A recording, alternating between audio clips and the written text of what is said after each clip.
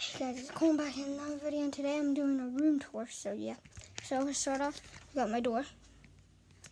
Then we got my thingamajobby, uh, tells you how tall you are. Then we got all my robes and stuff. And then we got my dresser with all my trophies on and stuff. Then we got this, all that stuff.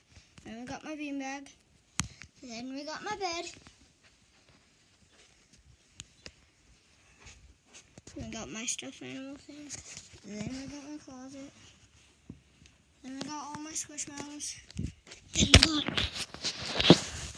Then I got under the bed. Under the bed. We got we got that. Um just one of my treasure specimens. Then if you come over here we got my bed. We got my bed tent.